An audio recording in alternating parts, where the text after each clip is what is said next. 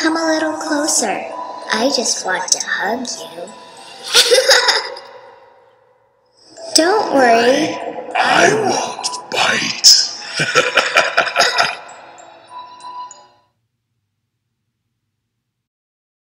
Hello, everybody. This is Halloween Haunter, and welcome back to another Spirit Sneak Peek of 2019.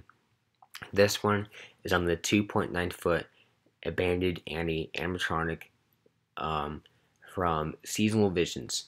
Now, when I first saw this prop, like I just saw the uh, stock images of the one with the mouth closed, I didn't really think it was going to be that great because it looked like it was just, just a static doll and it didn't do anything. So I was pretty disappointed. But then when I saw the other stock images in the video, I realized that this guy, this girl actually pops like her mouth up, and it's got like this, these, you know, these like sharp teeth and this like really cool mouth, and I think it's kind of unique for a prop, especially since I thought it wasn't gonna do that. I didn't really expect it until I watched the video, and I was actually pretty impressed that it did that. Um, I was really hoping it would, didn't be that great, and I, I'm wondering why they waited this long for it to be sneak peeked. Usually they'll do it right away, like a small prop. They actually started out pretty late in the season for the sneak peek on this.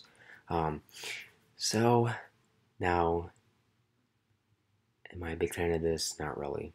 Um, I mean, I do like it, but I'm not a huge doll fan. That's why that's what I meant to say. Cause I, I mean, I do like it, but I'm not a huge doll fan. I'll, I'll say because um, I've never really liked SVI dolls. I've only liked a few of them, like the Roaming Antique doll and the Creepy Rising doll.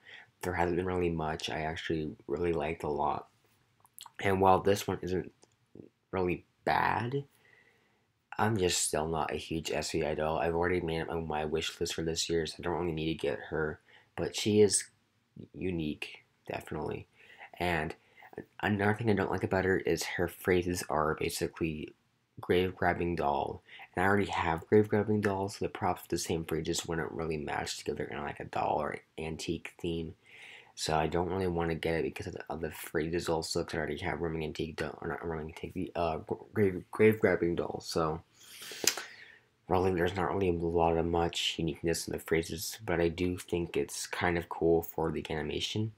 Um, the look is a little weird also, but I think it's a little bit more unique than the other SVI dolls. It's just not like the hollow eyes and then the um, just the plain face. And while it does have a similar, while it does have the almost the exact same, almost the exact same sculpt as the last dolls, it's a little bit more different the eyeballs, and the dress is a bit different, and the hair is also. I mean, it has the it has the rocking horse dolly hair, but overall, it's not a terrible prop. Just not one of my favorites personally. I'm not a huge doll fan, but I do think it's cool we're seeing this. And overall, I'm probably not going to get this, but I do think that people are going to enjoy it a bit more than than they did when they saw it um, without the mouth open. Because like the stock images at first look like it's not going to do anything, but when you see it with the mouth open, it looks pretty unique. So overall, not a bad prop but not one of my favorites, so I probably won't get it. So yeah, hope you guys enjoyed. If you did, make, sure to subscribe to Halloween Haunter today for more Halloween videos, and I'll see you guys later, and goodbye.